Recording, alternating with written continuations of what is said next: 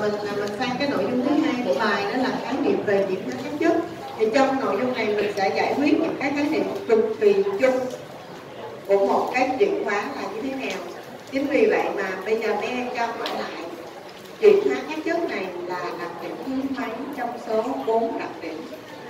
Xong. Đặc điểm thứ thứ hai đúng không? À, và mình đi đây mình cũng biết được đây là điều kiện để tồn tại và phát triển của sinh vật nha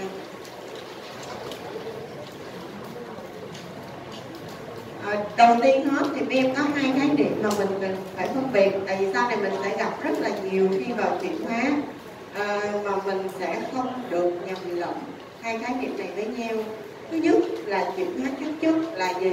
Và thứ hai chuyển hóa trung gian là gì? Thì các em sẽ có một phút để đọc qua và sau đó sẽ tự nói lại nha.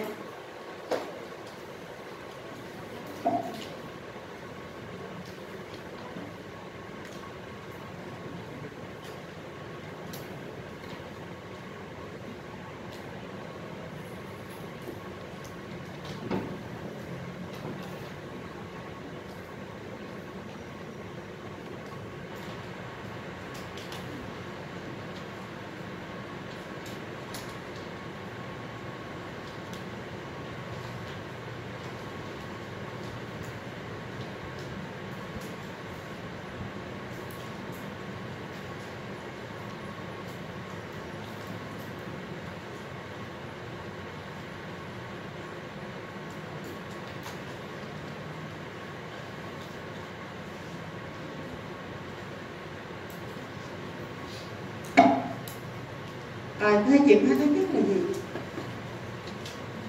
Bạn nào có thể trình bày lại ngắn gọn nhất để cho mọi người cùng hiểu. Chuyển thứ nhất là gì? À, quên nữa.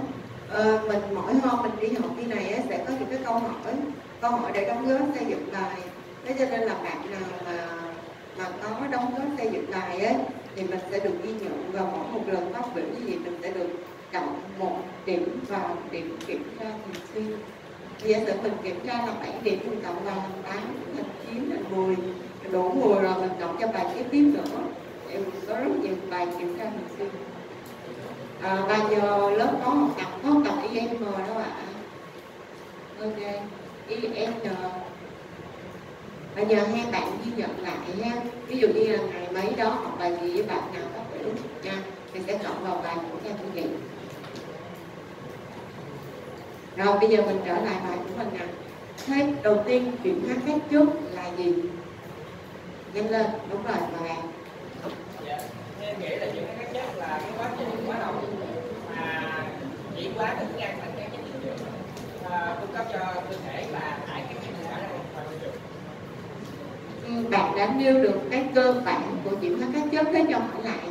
Chuyển hóa các chất về uh, cơ bản nhất cần cái gì ạ? Đó là sản phẩm tạo ra còn để diễn ra được chuyển hóa thì cái nhỏ nhất trong đấy cũng là quá trình gì ạ? Đúng rồi, quá trình gì? Phản ứng hóa học, đúng không? Qua một cơ quan hay nhiều cơ quan? nhiều cơ quan À, ừ, cái chất này nè, cái quá trình chuyển hóa này nè, dài hay ngắn? À, quá trình chuyển hóa này dài nhưng mà mỗi cái phản có học thì nó chỉ ra Rồi, cảm ơn bạn nha. Bạn tên gì ạ? vinh lớp in IM. Rồi, cảm ơn bạn. Đấy, lớp môn đọc tự ghi nhận giùm chị nha. Rồi như vậy thì bạn bạn nêu được chuyển hóa các chất này là một quá trình hóa học diễn ra qua nhiều cơ quan, nhiều bạn qua nhiều. Đầu từ khi trước đó có bản chất là thức ăn đến khi nó là cặn vả cần phải được gì? Bài tiết ra ngoài đúng không ạ quá trình rất dài. Rồi thứ hai chuyển hóa trung gian là gì? Cái gì cũng chuyển hóa hết nhưng mà chuyển hóa trung gian là gì? Khác gì so với à hóa à, dạ mắt kinh em á. Ok.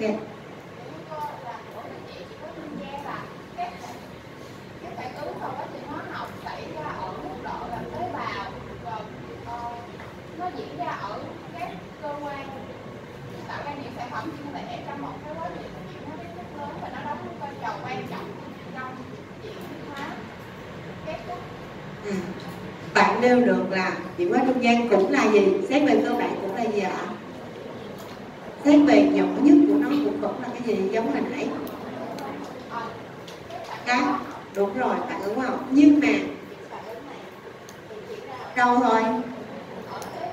À một tế bào nào đó thôi, đúng không? Và cái sản phẩm sâu của một sẽ là gì? Sản phẩm cuối cùng của một chuyển hóa trung gian sẽ là gì?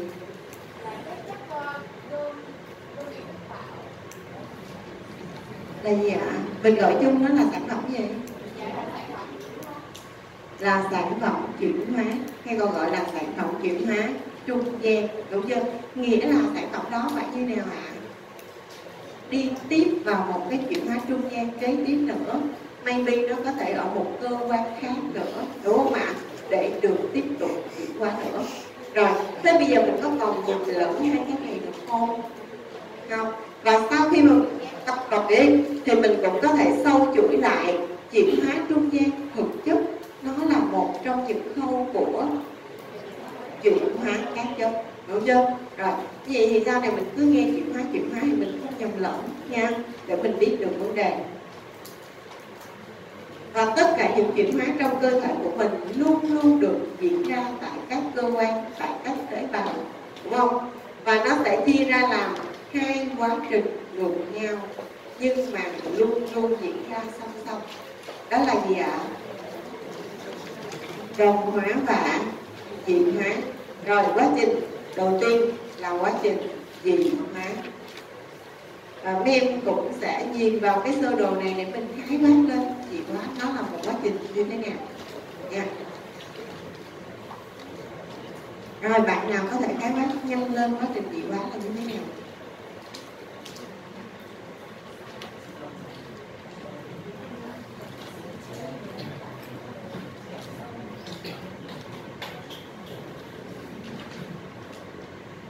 Gì quá là làm gì ạ à? lên mình có sơ đồ sẵn mình chỉ diễn giải thôi mà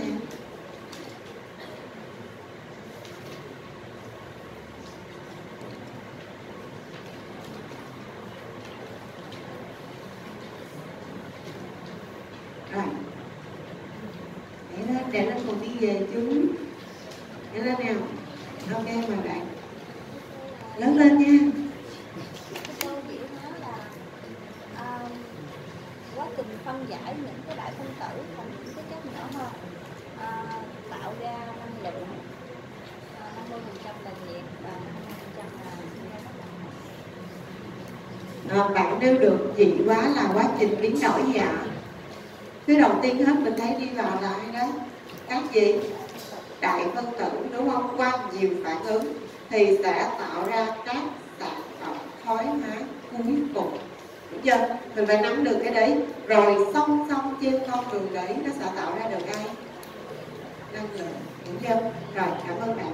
Và năng lượng đấy thì đương nhiên ở cơ thể người có 50 phần trăm là sẽ được biến thành nhiệt năng 50% còn lại sẽ biến thành các dạng công đúng không? Và khi mình học sinh lý mình sẽ biết là có những dạng công nào và vai trò của từng dạng công cho hoạt động của tế bào như thế nào. À, rồi đó là dị hóa.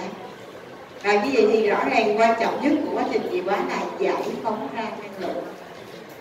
Ngược lại với dị hóa là gì ạ? Đồng hóa. Rồi đồng hóa là gì?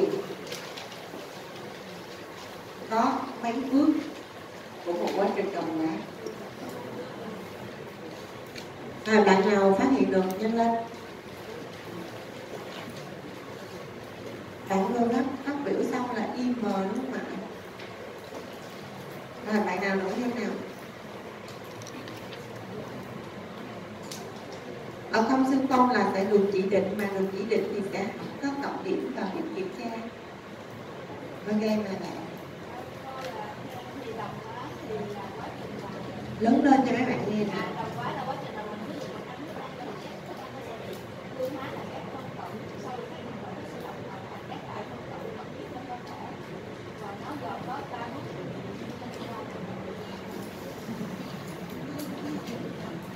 Rồi à, cảm ơn bạn.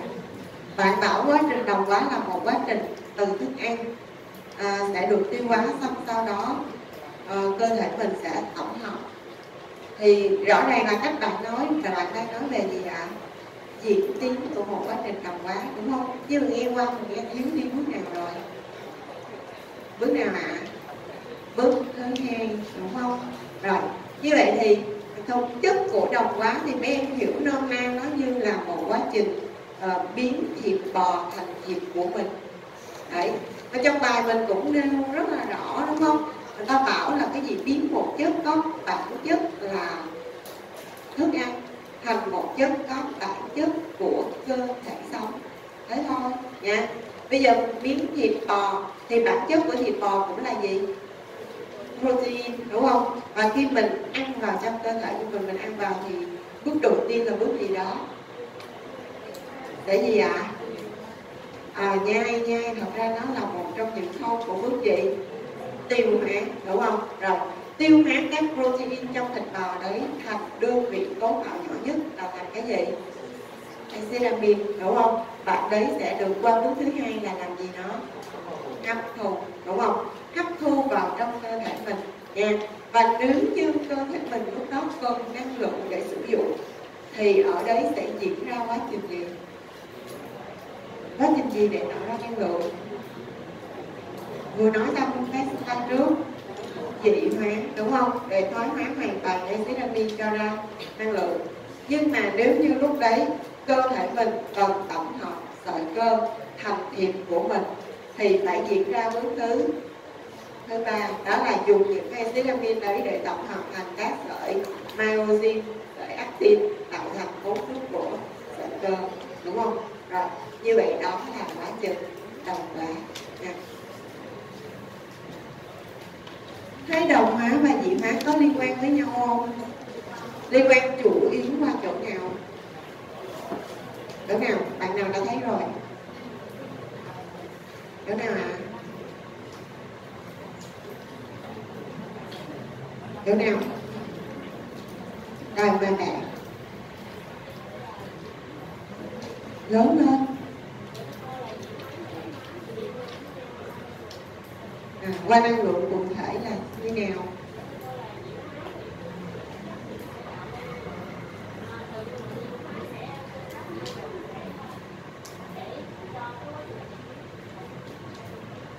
đúng rồi không em à, à, bạn đã nhìn thấy được mối liên quan chủ yếu dị quá sẽ giải phóng năng lượng còn độc quá muốn tổng hợp các chất lại thì cần phải hình thành các liên kết chính vì vậy nó phải cần sử dụng năng lượng để hình thành các liên kết hóa học đấy.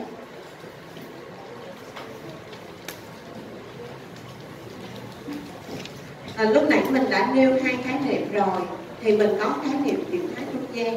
Thế nhắc lại dùng chuyển hóa trung gian là một quá trình hóa học diễn ra tại đâu trong một tế bào này đó thôi đúng không. Thế bây giờ mình cần phải biết nó diễn tiến như thế nào bao gồm mấy giai đoạn. À, mình cũng sẽ nhìn lên cái hình để mình khái quát lên thôi cũng rất là dễ. Bạn nào có thể khái quát lên cho nó mình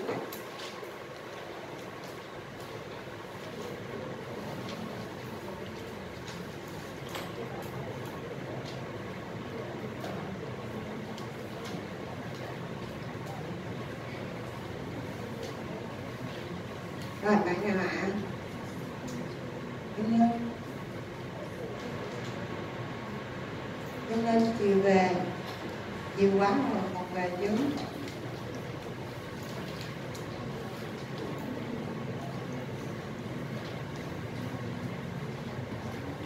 lên các bạn?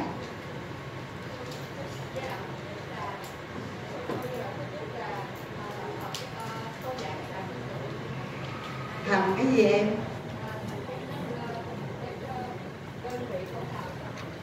À, giai đoạn thứ nhất từ các đại phân tử sẽ tạo thành phân giải thành các đơn vị cấu tạo nhỏ nhất tương ứng cho từng nhóm. Rồi kế tiếp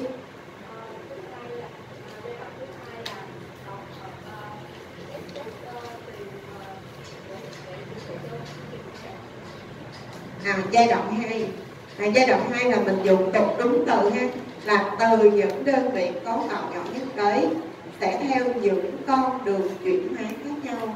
Và mai mốt khi men đi vào chuyển hóa từng chớ ấy thì mình sẽ biết rõ về đặc điểm của những con đường này nha.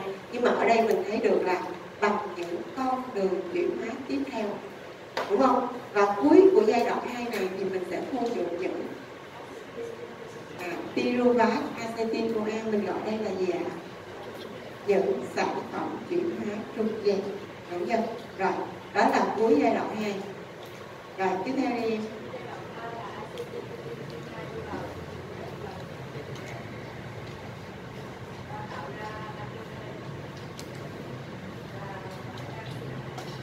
Em rồi cái gì? Cảm ơn em thì bạn cho mình thấy được ba giai đoạn cơ bản của một chuyển hóa trung gian nha.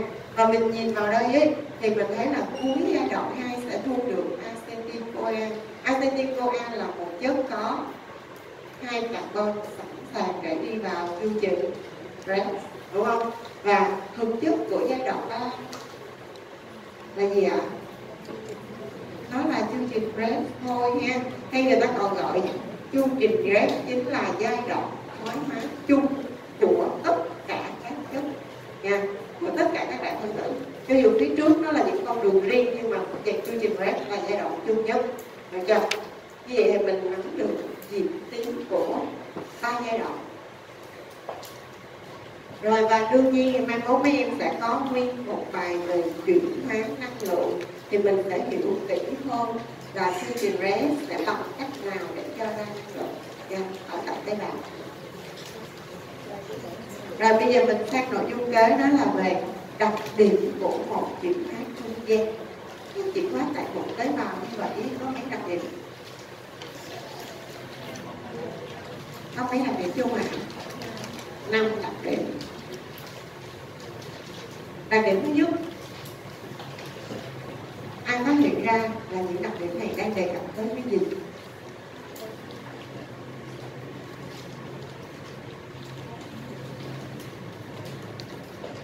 Thật ra về bản chất cơ bản, nhỏ nhất của một chuyển hóa trung gian cũng là cái gì? Phản ứng hóa học đúng không? Thế cho nên sao ạ? Đặc điểm một này là đang đề cập tới gì? Các điều kiện để một phản ứng hóa học diễn ra trong cơ thể sống, đúng không? Những điều kiện đấy sẽ bao gồm gì? Nhiệt độ, pH gì nữa? À chất xúc tác nha à, và chất xúc tác ở đây ấy, người ta nhấn mạnh cho mình biết có phải là một phản ứng hóa học là xong một cái chuyện hóa trung gian không? Mà phải là nhiều phản ứng liên tiếp nhau.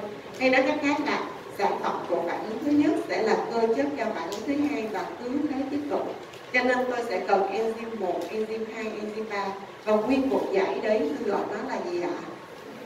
Hệ thống multi enzyme đúng không? Đặc điểm thứ hai, là gì ạ? Có trạng thái gì? Ổn định động về chuyển hóa. Thế ổn định động là sao ạ?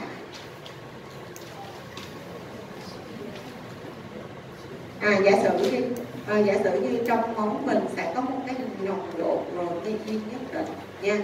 Protein đấy sẽ bao gồm albumin và các loại globulin thế bây giờ mình giả sử là albumin đi. Để thực hiện được các chức năng trong cơ thể thì nồng độ albumin trong người mình phải khoảng ờ, 35 gram trên lít 35 gram albumin trong một lít máu. Nha. Như vậy có phải là cơ thể mình tổng hợp ra một cái lượng albumin như vậy ấy, thì số albumin đó sẽ ở yên trong cơ thể người đó cho đến khi chết đi không không, mà sao ạ? Albumin nó sẽ thực hiện chức năng sau một khoảng thời gian nó sẽ phải bị thoái hóa đi, đúng không? Thế bây giờ không lẽ ở cái thời điểm nó thoái hóa, mình định lượng nồng độ albumin sẽ bị giảm? Có giảm không ạ? Không, tại sao không? À tại vì song song với lượng albumin bị thoái hóa thì sẽ có một lượng albumin mới được tổng hợp, đúng không? Thế cho nên người ta bảo là có trạng thái ổn định. Ổn định ở đây có nghĩa là phải duy trì với nồng độ như vậy thì mới thực hiện được chức năng của cơ thể sống một cách bình thường, nha. Động nghĩa là gì? Luôn luôn được thay mới, đúng chưa? Và tất cả các chất trong cơ thể mình đều có đặc điểm này hết, nha. Đặc điểm thứ ba là gì? Có sự thống nhất căn bản về mặt chuyển hóa trong thế giới sinh vật. Thế bây giờ hỏi lại chuyển hóa trung gian có mấy giai đoạn? À và ba giai đoạn mà mình vừa thấy ấy, là một chuyển hóa trung gian ở cơ thể người. Hay nói cách khác cuối cùng của giai đoạn đó mình sẽ thu được gì ạ? Cuối cùng của giai đoạn 3 thì mình sẽ thu được ATP năng lượng cho cơ thể sử dụng. Đúng không ạ? Rồi, và cơ thể mình, ví dụ bây giờ mình nạp lucid vào chẳng hạn, thì cũng sẽ chuyển hóa cho ra ATP nha. Nhưng mà, ở cơ thể một em vi khuẩn khác, ở nhà mình có nuôi giống ăn không ạ? Đó, mình cho em bé ăn cái gì? Cho ăn chuối cho uống nước gì? Uống nước dừa. Còn chất mình cũng đang cung cấp cái gì cho nó đó? Cũng cung cấp lưu lucid cho nó, đúng không? Nhưng mà có phải nó để tạo ra ATP không? Không về mặt chuyển hóa, hai giai đoạn đầu của nó giống hệt như mình. Nó đều tạo ra được các sản phẩm chuyển hóa trung gian. Có nghĩa từ, đều tạo ra được piruvat đúng không? Nhưng mà nó không vào chương trình REP mà nó sẽ được chuyển hóa tiếp theo để tạo được acid acetic đúng chưa cho nên sản phẩm mình thu được là một chút có vị chua đúng không? Gọi là giảm ăn nha. Tương tự như vậy mình cũng ứng dụng cái sự thống nhất căn bản về chuyển hóa đó. Và trong việc tổng hợp ra các món thức ăn gì ấy cũng nhờ một cơ thể của một em lợi khuẩn khác. À, tổng hợp yogurt đúng không? Sữa chua là tổng hợp gì ạ? Acid lactic đúng chưa nó cũng chỉ khác mình giai đoạn 3 thôi, hay giai đoạn giai đoạn đầu thì là giống mình. Rồi, cơ thể mình chuyển hóa rất nhiều chất glucid lipid, protein. Nhưng có phải độc lập nhau hoàn toàn không? Không, mà sẽ có liên quan với nhau. Và khi học hóa sinh xong, mình sẽ hiểu nó liên quan như thế nào ví dụ ví dụ bây giờ mai mốt mấy em à, mấy em đang khám bệnh nhé có một bệnh nhân à, 50 tuổi tới khám sức khỏe định kỳ.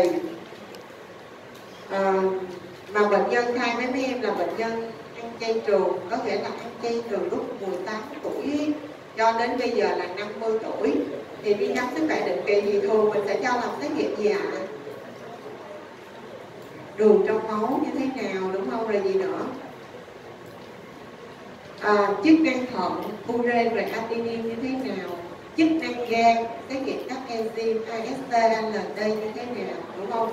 Xét nghiệm về gì ạ? Có nguy cơ hình thành mảng xơ vữa trong lòng mạch hay không? Thì mình xét nghiệm cái gì ạ? Mỡ trong máu đúng không? Bao gồm là cholesterol triglycerid vân vân như thế nào đúng không? Rồi bây giờ sau khi xét nghiệm xong ra các cái thông số các giá trị gì cũng tương đối ổn chỉ riêng triglycerid tăng cao trong máu Đấy. thì lúc này tiếp nhận kết quả xét nghiệm xong, các em sẽ thông báo với bệnh nhân như nào ạ? À những cái chức năng thận, chức năng gan của cô thì ổn, đúng không ạ? Chức năng chuyển hóa lucid hiện tại cũng không thấy nồng độ đường trong máu tăng cao. Nhưng mà có gì ạ? À có bị tăng mỡ trong máu rồi, đúng không? Tại vì tăng triglycerid mà mình nói triglycerid có khi người ta không có hiểu đúng chưa? Mà mình bảo là cô bị tăng mỡ máu rồi. Thế thì người ta sẽ như nào ạ? Người ta sẽ như nào? Người ta sẽ phản ứng ngay. Là sao? Tôi ăn chay trường mà bác sĩ à, thậm chí là tôi đương nhiên là tôi không ăn mỡ từ động vật rồi tôi ăn dầu cũng rất là ít. Ít giống như bà hàng xóm mà ăn bình thường vậy đó.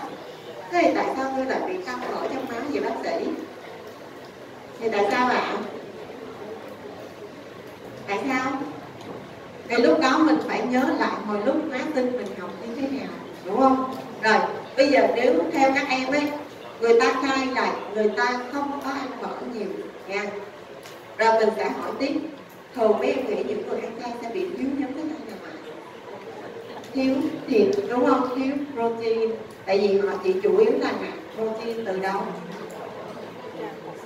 từ thực vật từ đậu, đúng không? Thế cho nên là cũng thường sẽ dễ bị thiếu.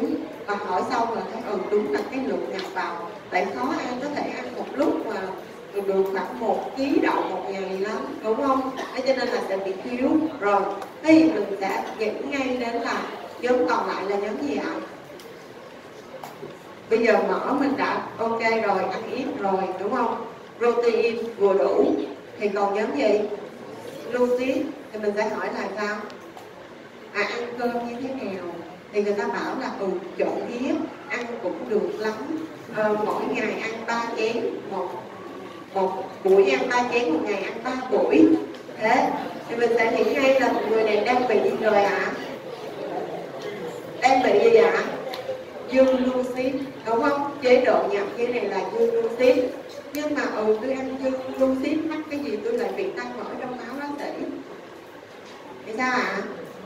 thì mấy em lúc đó phải nhớ lại chuyển hóa của gan. Khi mà lucid nhập vào nhiều gluco đi đến gan đầu tiên sẽ được gan dùng để tổng hợp thành glycogen dự trữ, đúng không? Nhưng mà khi glycogen dự trữ đủ rồi, thì quá trình tổng hợp glycogen sẽ dừng lại và tiếp đó gan sẽ sử dụng gluco để tổng hợp thành triglycerid cũng là một dạng dự trữ năng lượng cho cơ thể nhưng ở dưới dạng à lipid đúng không? Và mình định lượng được nồng độ triglycerid ở trong máu tăng cao, đúng không? Thì lúc đó mấy em hiểu được các cơ chế như vậy thì mấy em mới giải thích được cho bệnh nhân đúng không? Thì mình sẽ không bị mắc tội vu khống. Người ta ăn chay mà lại bảo tăng nội máu, đúng không? Mà mình ngoài ngoài cái việc mà giải thích được mình còn gì nữa hả? Còn gì?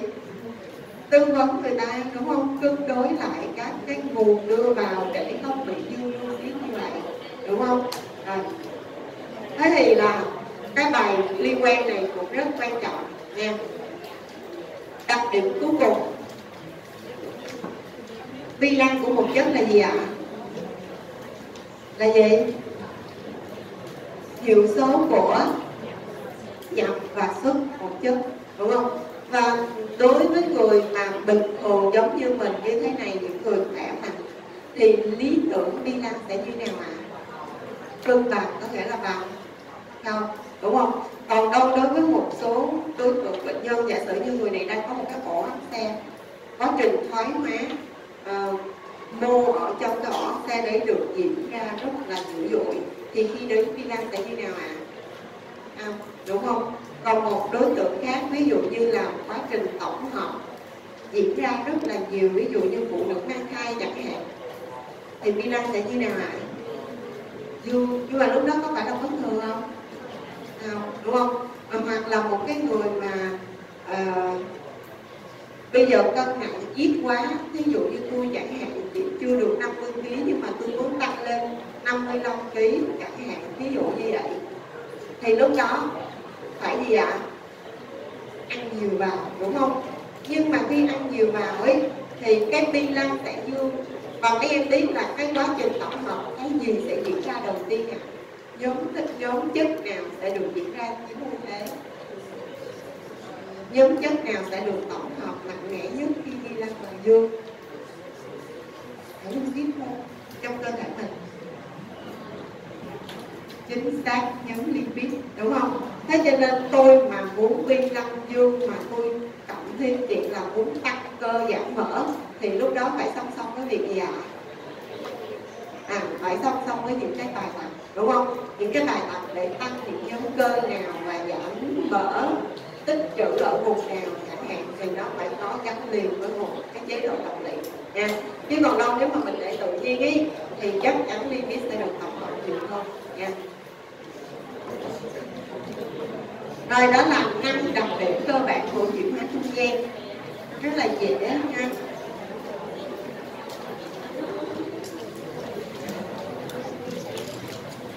rồi phần này nếu như mà mấy em học xong hết 6 năm đại học xong các em đi về các cơ sở y tế để tham gia à, điều trị bệnh chẳng hạn nha chẩn đoán, điều trị vân vân thì ít khi mấy em gặp lại những cái phương pháp này. Nhưng mà nếu như các em ở lại các trường, và các trường đấy có các viện nghiên cứu chuyên sâu, thì mình sẽ làm cái này rất nhiều. Ví dụ, cái đầu tiên là làm gì đó? Phân tích các sản phẩm chuyển hóa trung gian định lượng nồng độ của những sản phẩm đấy ở trong máu, trong nước tiểu hoặc trong dịch sinh vật thì góp phần cho biết là cơ quan chuyển hóa tương ứng có bị bất thường hay không, đúng không? Hay nói cách khác là thông qua nghiên cứu này các em có thể phát hiện được một xét nghiệm mới khi mà một cơ thể, một cái cơ quan nào đó chuyển hóa bất thường. Nha. Thì dựa trên những nghiên cứu đấy, để người ta phát hiện ra xét nghiệm.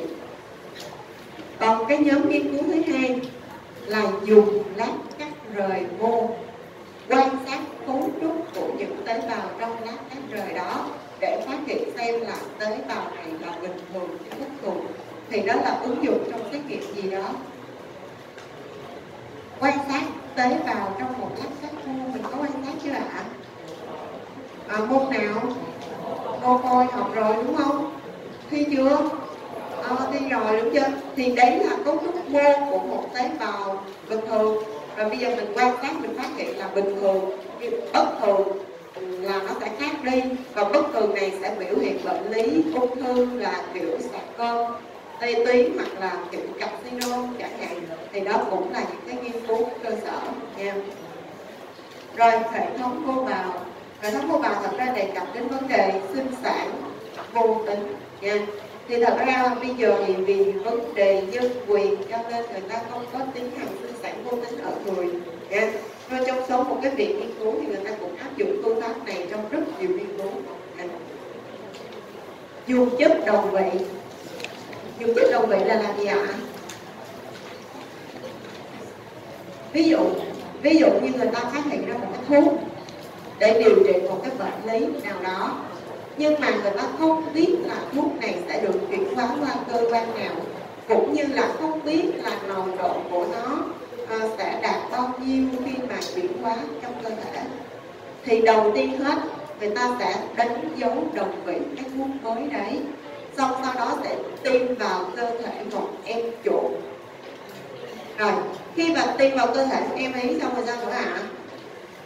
sau những khoảng thời gian khác nhau người ta sẽ chiếu hoặc là chụp những cái tia đi qua để ghi nhận lại xem là cái thuốc này đã đi đến cơ quan nào rồi và được cơ quan đó chuyển hóa như thế nào nha.